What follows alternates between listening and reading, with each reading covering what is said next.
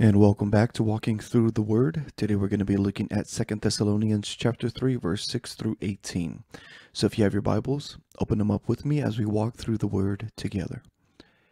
As we enter now into the final words of Second Thessalonians, I want us to keep in mind what Paul has already uh, written to the church in Thessalonica.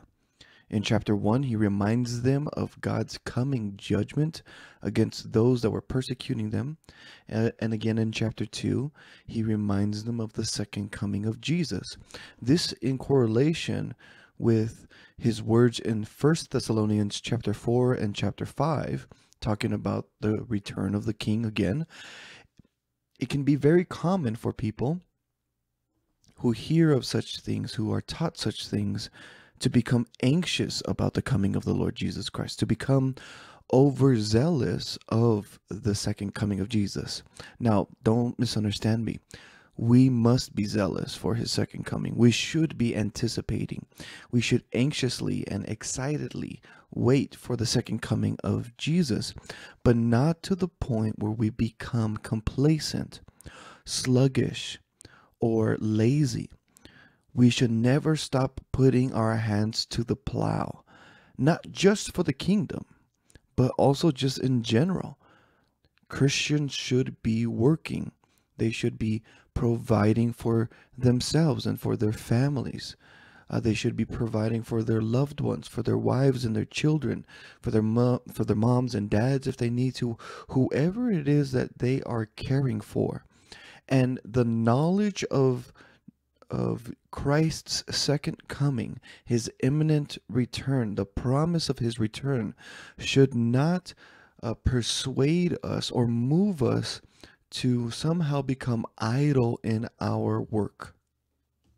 We should always be working. And so I think what Paul is trying to do here is to encourage the church in Thessalonica um, that though they are enduring persecution and though they are awaiting the return of Jesus, their Savior, that they should continue working and not become lazy or idle. Uh, because we see even today, brothers and sisters become idle in their work. They sell all the, their possessions, um, they sell their home, um, they become foolish with their finances because they be, they they learned so quickly about the second coming of Jesus and the imminency of the second coming of Jesus that he can return at any time, at any moment, um, and and glorify us. And we should be anticipating that return, but not without work. We are to wait and we are to be patient in our waiting, and we should long for the return of our King. But we wait while we work. We long while we put our hands to the plow. So, Christian, as we are going through these scripture verses, as we read these verses, if you do not have a job and you're not toiling for the kingdom, you should take these verses to heart. Repent of your idleness, repent of your laziness. Get a job, work and toil for the kingdom, provide for your family, and don't be lazy. So, verse 6 Now we, that's Paul, Silvanus, and Timothy again, coming to the church in Thessalonica, we command you, the church, brothers, in the name of our Lord Jesus Christ. This is huge. The same name, the same Lord, the same God, the same King that will come again for them to rescue them from persecution, that will glorify them, that will come at the sound of the trumpet and of the archangel and the cry of command. That same Lord Jesus, they are now commanding this that you keep away. This is very important. Keep away from any brother who is walking in idleness. This is huge. So if you have brothers or sisters in the church, if you have anyone, anyone who calls themselves brother, and they're walking in idleness, Paul's saying, keep away from that person. Don't fellowship with them. Don't um, spend time with them. Don't talk to them. Rebuke them. Tell them to get to work. And he tells them why. Keep away from anybody who is walking in idleness and not, not in accord with the tradition that you received from us. Okay, so Paul gave them and they received a specific tradition. Okay, this tradition that they received, as we'll see here in a little bit, is against idleness we can make excuses for ourselves day and night. We can say, uh, "It's just hard for me to find a job. I can't find." And listen, we uh, we understand that as believers, there are those who will undergo financial turmoil. There are those who will um, look for work, look for employment, and won't be able to find any that might go through an economic difficulty or during an economic collapse or um, a time of economic stress and difficulty like we're experiencing right now with COVID 19. It's very common for people to lose employment and to lose their jobs. What's not okay is if you see a brother or sister who is never working, who makes excuses not to work, who's he who even claims to have difficulty with authority and therefore says I cannot work. Anyone who claims they cannot work for any specific reason other than real medical reasons is a lazy brother. And Paul's saying, that brother, you need to keep away from that person. Keep away from that brother who was walking in idleness because someone who is walking in idleness and not in accord with the tradition that they received from Paul, we're going to see what that tradition is because we're going to see here that that tradition was work, work with your own hands, provide for yourself. So, working was the tradition that Paul taught the Thessalonians. Paul saying, any brother, any brother who's not going to work, stay away from that person. He explains why here in verse 7. Verse 7 For you yourselves know, and he's going to explain what that tradition was that they received. You yourselves know how, what does he say here? How you ought to imitate us. I think this is what he means by the tradition that he gave them. This is the tradition. How they are to imitate them, us, Paul, Silvanus, and Timothy. That's what he means by us here. He says, because we, that's Paul, Silvanus, and Timothy, we were not idle when we were with you. So they were not idle. This is the tradition that they received, that they should imitate Paul, Silvanus, and Timothy, and that they were not idle. They were working, okay? Nor, he says in verse 8, nor did we eat anyone's bread. This is huge, okay?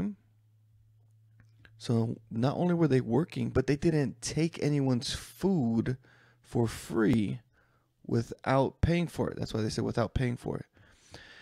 So don't misunderstand Paul because it's very clear in First Corinthians and other portions of the scriptures that those who minister the gospel, those who minister and sow spiritual things, should be uh, able to reap financial or material things from the church.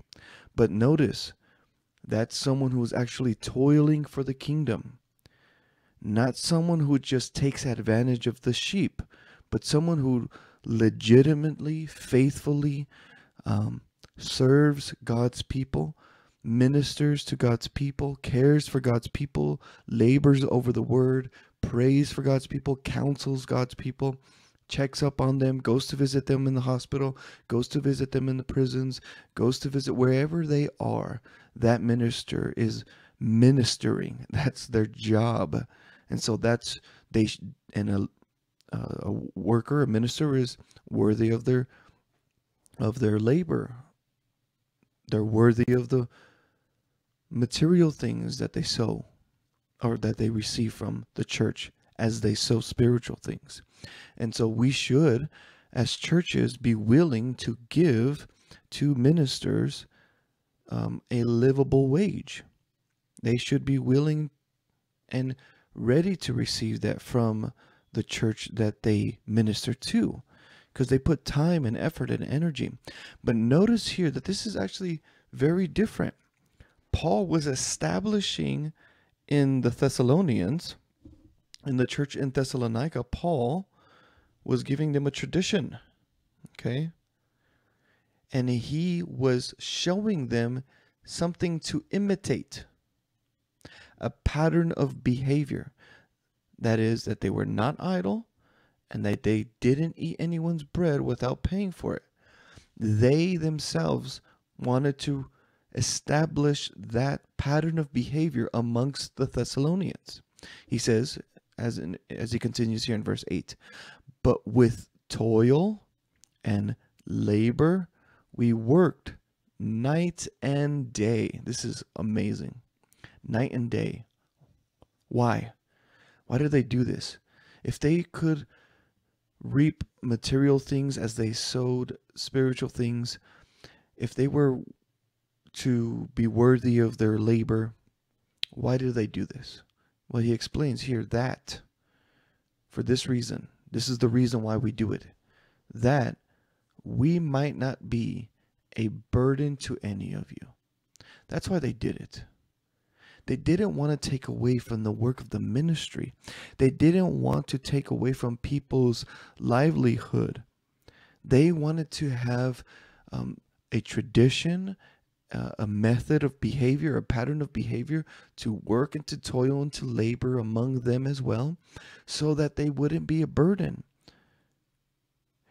And listen, if a pastor among you is a bivocational pastor. He's working full time, but also ministering to you while he's working. Honor that person, respect that person. They are giving up so much in their lives to care for your souls while they're still caring for their own well being, their own physical needs, and their own families.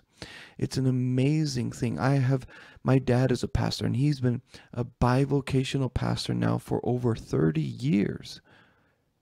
His church has never grown to be a large church, but there he is every week, week in, week out, laboring over the word, preaching the word, caring for the people, ministering to the people.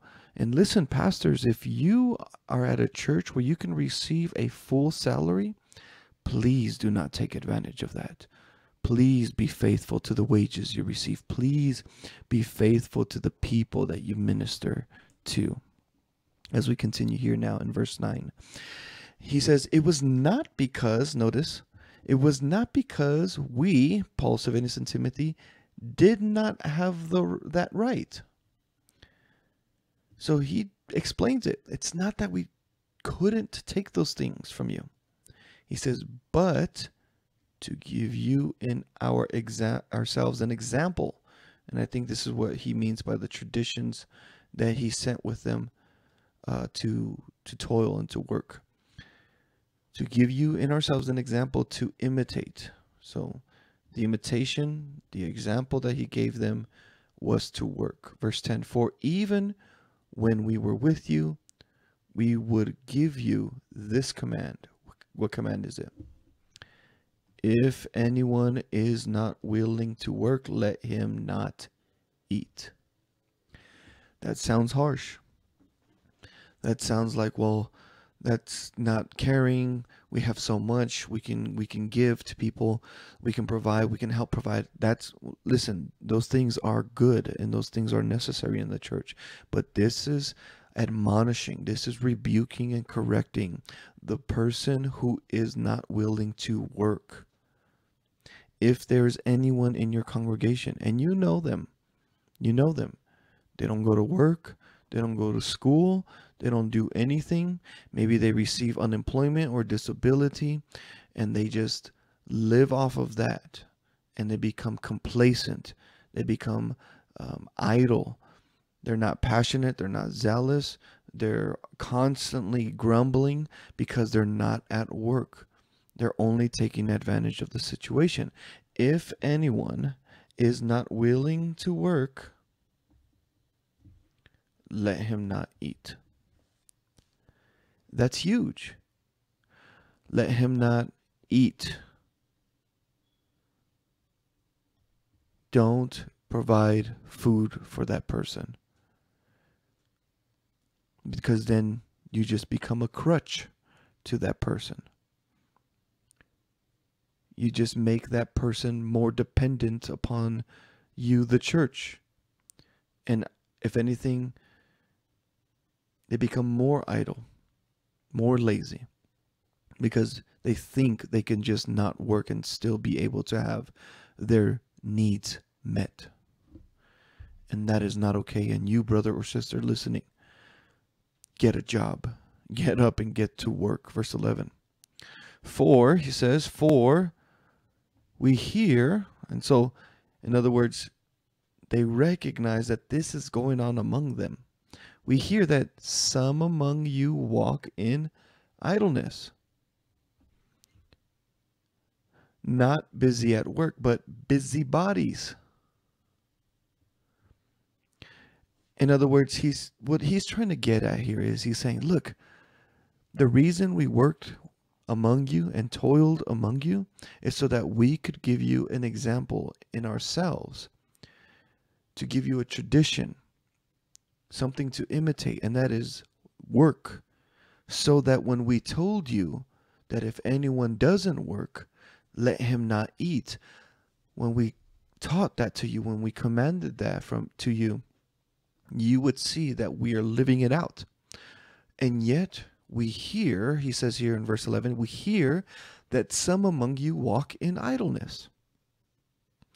And maybe it was because they were anticipating the return of the king. Maybe they thought or were hearing rumors of Jesus coming back and getting ready to come back. And Paul saying, listen, those things are always true. Even for us today, Jesus can come back any minute. But don't stop working. Work, toil, provide for yourselves and for your family. Work for the kingdom. Don't become busybodies. In other words, don't become people who are just always poking their nose into other people's business, trying to get free handouts, trying to get the latest scoop on things, the latest news. Get a job, any job. In fact, take the advice that my mother gave me when I was a idle teenager. She said, if you don't have a job, then your job should be getting a job until you have a job. That's such wisdom in those words. If you can't have a, if you don't have a job right now, brothers and sisters, fine. Especially you brothers, especially you men, fine. I get it. Economy's hard losing your job, losing hours, losing pensions, losing wages. I get it right now. But there's some of you right now that have not worked for years, have not even tried looking for work, have not even considered working at a minimum wage paying job because it's beneath you. And yet there you are in your idleness and you need to repent of that and you need to go find work and provide. Now, he says, such persons we command and encourage. So it's an admonishment. We command and encourage in the Lord Jesus Christ to do their work quietly and to earn their own living. Don't let government, don't let disability, unless it's a severe disability, don't let um, Medi-Cal or Medicare or anything become a crutch to you. Earn your own living. If you are an able bodied person, strong enough to walk, strong enough to pick up groceries, carry groceries, push shopping carts, if you're strong enough to stand at a, a grill and make burgers, and that's the only kind of job that you can get right now, you get to work, earn your own living, do your work quietly. In other words, don't complain about your job. Don't complain about your work. Be imitators of Paul, Silvanus, and Timothy, how they worked among the church in Thessalonica. Look to your pastors. Are they faithful workers of the kingdom? Are they truly being faithful to the tithing that you're giving to the church? Are they working the hours they should be working? Are they putting the effort and the energy that they should be putting into um, the ministry for their earning and for their living? If not, call them out. Tell them, hey, get to work. What are you doing? Command and encourage them. Command them and encouragement. Hey, work for your living, work for your ministry, work. Don't stop working. Jesus will come back. It is true. But the question is will he come back while you are idle or will, will he come back when you're working? I'd much rather that he come back while he find us toiling for the kingdom and working, um, caring for our families and providing for our families. And finally, to wrap up this chapter, this is what he says As for you, brothers and sisters, do not grow weary in doing good. If anyone does not obey what we have said in this letter, take note of that person and have nothing to do with him, that he may be ashamed. Do not regard him as an enemy, but warn him as a brother. And this is this is huge, guys. This is huge. We must recognize that when Paul is talking about the necessity of rebuking the brother and sister, he's not saying do so as though they're unbelievers. Tell them like a brother or sister. Tell them in gentleness, with love, hey, get back to work. Let's go. Come on. Come work with us. Put your hands to the plow. And if anyone's not going to obey these words from Paul that were inspired by the Holy Spirit, take note of that person. You see that here? Take note of that person. In other words, point him out. Check out his attitude. Check out his heart or her heart. And have nothing to do with him or her. For what purpose? That he may be ashamed. That there would be heaping coals, burning coals heaped upon his head. Don't regard him as an enemy, but as a brother. And I'm going to add this next slide in so that way we can finish off the scripture verse together.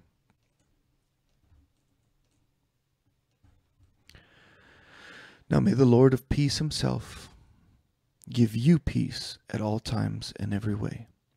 The Lord be with you all. I, Paul, write this greeting with my own hand. This is the sign of genuineness in every letter of mine. It is the way I write. The grace of our Lord Jesus Christ be with you all. It's incredible that we can journey together and walk through the Word together experiencing the inerrant and infallible Word of God, the Holy Spirit inspired Word of God, and how we can dissect these words and learn from them even today, 2,000 years later, be convicted by it, be admonished by it, rebuked by it, corrected by it, and taught by it, so that we could represent the Lord Jesus Christ well in our lives. Brothers and sisters, as we anticipate the Lord's return, please don't stop working, don't stop loving each other, and don't stop anticipating His return. Look for Him, wait for Him as you put your hand to the plow. Thank you so much for journeying with me through Second Thessalonians. Make sure you leave a like, hit the subscribe button, share this video, share the, all the videos. Um, I would greatly appreciate that. If you're enjoying these Bible studies, please look forward to the next book as we enter into walking through the Word.